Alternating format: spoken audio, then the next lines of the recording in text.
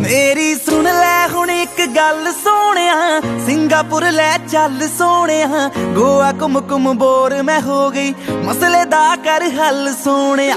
ਸੁਣ ਲੈ ਹੁਣ ਇੱਕ ਗੱਲ ਸੋਹਣਿਆ, ਸਿੰਗਾਪੁਰ ਲੈ ਚੱਲ ਸੋਹਣਿਆ। ਗੋਆ ਕੁਮ ਕੁਮ ਬੋਰ ਮੈਂ ਹੋ ਗਈ, ਮਸਲੇ ਦਾ ਕਰ ਹੱਲ ਸੋਹਣਿਆ।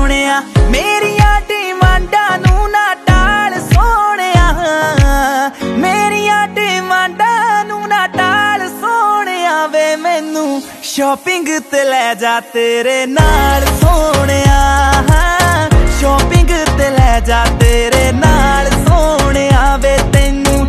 ਰੋਜ਼ ਰੋਜ਼ ਕਹਿੰਦੀ ਤੇਰੀ ਜਾਨ।